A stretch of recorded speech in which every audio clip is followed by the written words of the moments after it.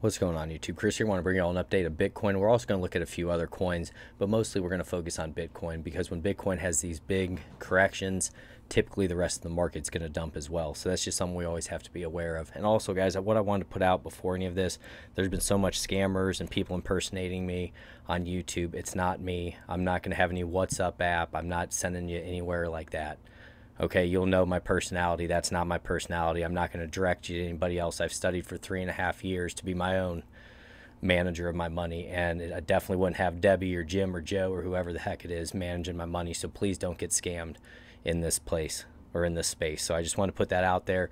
But what I want to do here was look at Bitcoin on the one day time frame. And also if you get some from these videos, guys, don't forget to like, subscribe, hit that notification bell and we'll dig into this. So we're looking at Bitcoin on the one day time frame. And what we're paying attention to today is the close. I want to see where the daily candle close is going to be. Right now, if we closed how we are, that would be a bearish engulfing candle and it would come on heavier volume.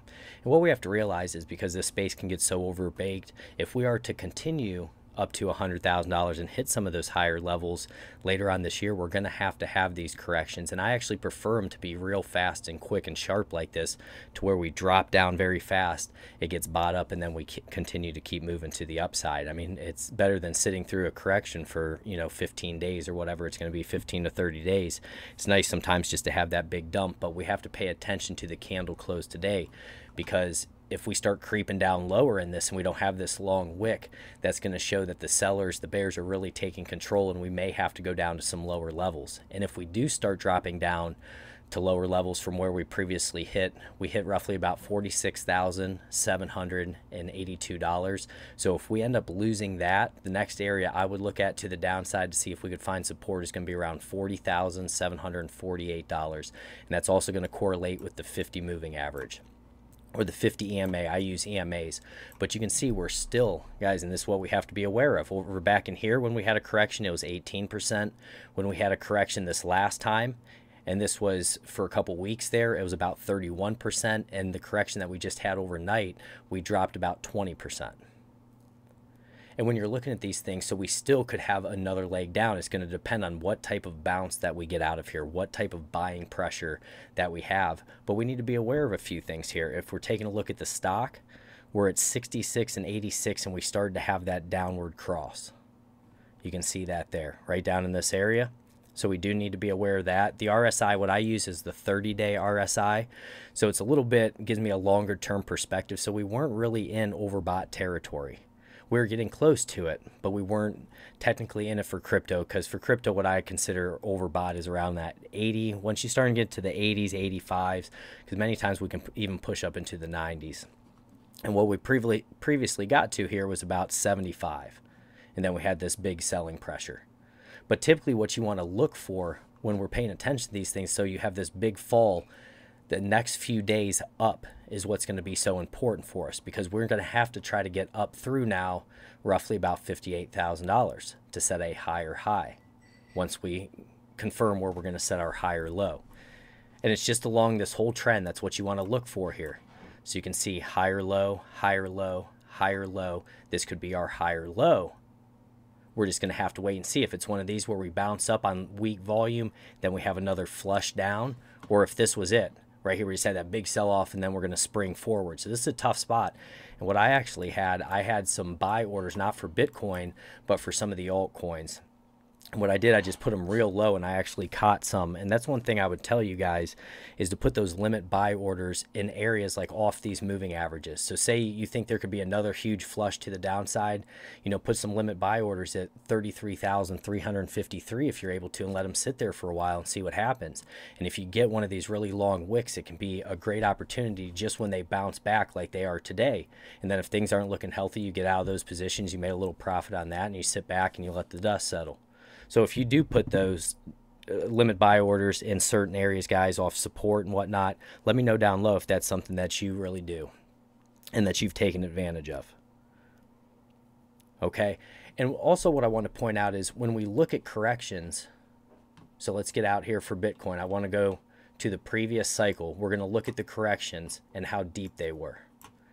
And it's important. So you can actually see I had the days measured out. The corrections, many times they could be 35 days, they could be 12 days, 18 days, 7 days, 4 days. So they can just be sharp and quick as well. But when we're looking at these corrections and we're taking the price range, many times it would be a 42% correction. This one here was roughly about a 40% correction. Up in this range, we had a 30% correction. So, I mean, guys, this happens in this space. And actually, in my opinion, it's very healthy for the space. And it lets lets us breathe a little bit. You know, may we go lower to the 50 down to $40,000? It's definitely a possibility. And this is where, you know, guys, if you're a longer term investor, you're still in, you know, not financial advice, you're still sitting in those coins. In my opinion, we're not going to go into a bear market until we start crossing down through the 200 moving average. Once we go below the 200 we're having daily candle closes below that, I think that's going to be about it. But we're not anywhere near that area yet. We just are having these warning signs coming up that we may have and spend some time in a correction coming up here, which I still believe would be healthy for the market. So if we look at the technicals here, we are looking at a two sell, 10 neutral, and a 14 buy on the one day. So we're still in the buy category. Oscillators, one sell, nine neutral, and one buy. And what this did, it put our relative strength back at 64, 64 now. I mean, we could keep going lower. We want to stay up above 50, in my opinion, but we still could get milked a little bit lower. But for the relative strength, we've cooled off now. We're not up around 85 when we're trying to make higher moves and go up to around $70,000. So what we have for a sell is going to be our momentum. The MACD is going to be a buy. All our moving averages from the 10 all the way through. Besides, let's see, the Hull moving average, all the rest are going to be buy. So we're still trading up above those moving averages like we talked about. We haven't even had a daily candle close below the 20 EMA yet. And guys, that's where in this space, you have to be appreciative of the moves that come in. I mean, when you're making 20% in a day, Many markets won't make that in a year, and I've talked about this before. You know, don't be greedy in this space. Take your profits when they're staring you in the face. Take some off the table when we get super extended. You know, get your initial investment out of there if that's the case. Say you put 5000 in and you're sitting on 25,000 or something, take that 5,000 out to be safe and now you're you're it's the you're playing on the house money now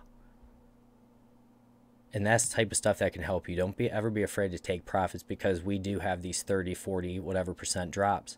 And then when you have cash you're able to capitalize on these opportunities when they come.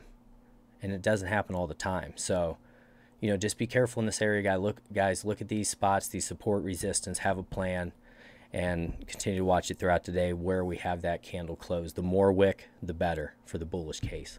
God bless each and every one of you. Take care